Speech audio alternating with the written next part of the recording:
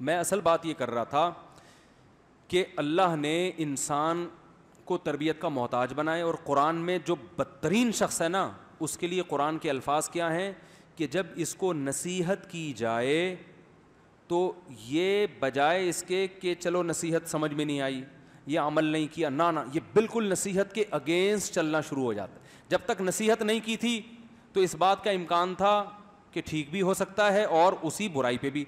लेकिन जब किसी ने समझा दिया तो अब इसने कसम उठा लिया कि मैं बुराई रहूँगा। वजह क्या ये इज़्ज़त नफ्स का मसला बना लेते हैं। तो अल्लाह फरमाते हैं, ऐसे लोगों का ठिकाना, ऐसे लोगों के लिए क्या काफ़ी है? जहन्नम। काफ़ी है इनके लिए। यानी इस, इसके अलावा ये सुधरने वाले नहीं हैं। क्योंकि सुधरने का एक रास्ता है तरबियत।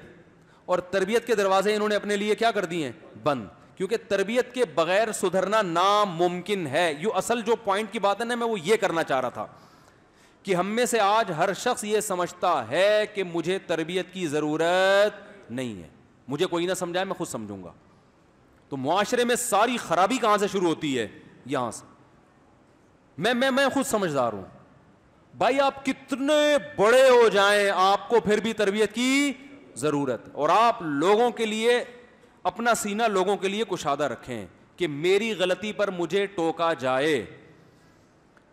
और अगर किसी को उसकी गलती पर टोका जा रहा है और वो रुजू कर रहा है तो आपकी नज़र में उसकी इज़्ज़त कम नहीं होनी चाहिए, बल्कि बढ़नी चाहिए। आप ये ना समझे, ये आलिम नहीं है, ये पढ़ा लिखा नहीं है, इसको तो पता ही नहीं था, हमने बताया है। दुनिया में कोई ऐसा आलिम इस कायनात में पैदा नहीं हुआ जिसको सब कुछ आता हो, और वो सब समझ गया है वो।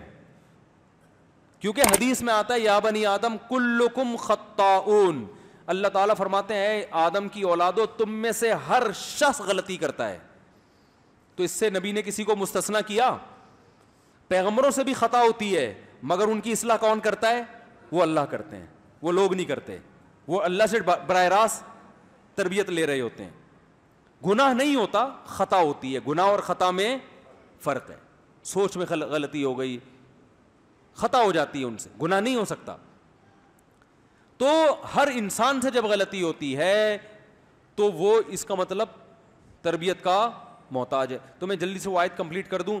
अल्लाह ने फरमाया वही किताब किताब सिखाएगा कौन? नबी। तो इससे मुराद वो वो आयतें नहीं हैं जिनका गैर मुस्लिमों से ताल्लुक़ है अफ़ा हसेब तुम, ये जो, ये आयतें जिनसे कुरान का, अल्लाह का कलाम होना समझ में आए, ये आयतें बहुत आसान हैं। इसके लिए किसी से सीखने की ज़रूरत नहीं। है ये अपील करती हैं नेचर को। तभी बहुत से गैर मुस्लिम कुरान पढ़ के क्या हुए मुसलमान हुए। हज़रत उमर ने कुरान की चंद आयतें सुनी थी, इस्लाम कबूल कर लिया था। नजाशी ने कुरान की आयत सुन, आयतें सुनी तो अब ये नहीं कि उसकी शरह तलाश की उसने।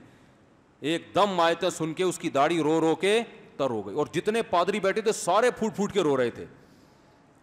लेकिन कुरान की कुछ आयतें ऐसी हैं, जब तक नबी नहीं समझाएँगे, वो समझ में नहीं आएँगी। अच्छा अगला मकाम अल्लाह ने जो असल मेरा टॉपिक था, फरमाया, वयू जकी हिम नबी इनका तजकिया करेंगे। तजकिया को आसान लफ्ज़ों में ट्रेनिंग, तरबियत, यानी इंसान को इंसान बनाना हकीकी मानों में। तो ये सहाबा ने कुरान पढ़कर बर रास्त उनका तजकिया नहीं हुआ, बल्कि नबी ने प्रैक्टिकली उनका तजकिया किया है। कैसे किया? इसकी बहुत सारी मिसालें मिलती हैं। एक सहाबी दरख्त लगा रहे हैं। आप सल्लल्लाहु अलैहि वसल्लम उनके पास गए, फरमाया, तुम ये इतनी लंबी लंबी उम्मीदें, ये फल देगा कितने साल के बाद? क्या तुम्हें ये उम्मीद है कि मैं इतने साल यकीन ज़िंदा रहूँगा मैं? देखो, आप सल्लल्लाहु अलैहि वसल्लम ने प्रैक्टिकली उनकी तरबियत की कि दुनिया दिल लगाने की जगह नहीं है। दूसरी तरफ़ आप तरगीब दे रहे हैं, जिसने दरख्त लगाया, मर गया। जब तक चरिंद परिंद भी उस दरख्त से खाते रहेंगे, इसे सवाब मिलता रहेगा। क्या मतलब दरख्त लगाने से मना नहीं किया जा रहा? दरख्त लगाने में आपकी नीयत को सही किया जा रहा है। दुनिया मकसद नहीं होनी चाहिए। इतने लंबी लंबी दुनिया के लिए प्लानिंग बेवकूफ़ी है। वो है ना, आगाह अपनी मौत से कोई बशर नहीं। सामान सौ बरस का पल की खबर नहीं।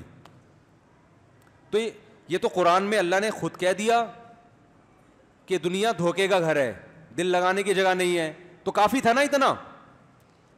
काफ़ी होता तो फिर नबी प्रैक्टिकली सहाबा जब दरख्त लगा रहे, उनको जाके समझाते नहीं। ये अमली तौर पर बाकायदा तरबियत की जा रही है। एन मौके पे तंबी की जा रही है, भाई क्या कर रहे हो? दरख्त लगा रहे हो भाई। एक साहबी ने घर बड़ा आलीशान तामीर की ना, आपको देख के नागवारी हुई। उन साहबी ने वो कुब्बा गिरा दिया अपना। फिर आप सल्लल्लाहु अलैहि वसल्लम का गुजर हुआ, देख के खुश हुए। आपने फरमाया, बदतरीन चीज़ जिस पे इंसान का पैसा खर्च हो, वो तामीर है। आप एकदम परेशान हो जाएँगे, किस किस्म की बातें कर रहे हैं आज मौली साहब।